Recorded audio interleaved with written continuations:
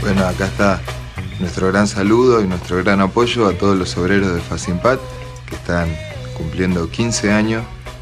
de lucha con mucho éxito y bueno, falta mucho más, así que este 8 de octubre vamos a estar ahí compartiendo un recital con todos ustedes para apoyarlos y para disfrutar de, de la música. Así que toda la gente de Neuquén, ahí nos vemos, nos falta.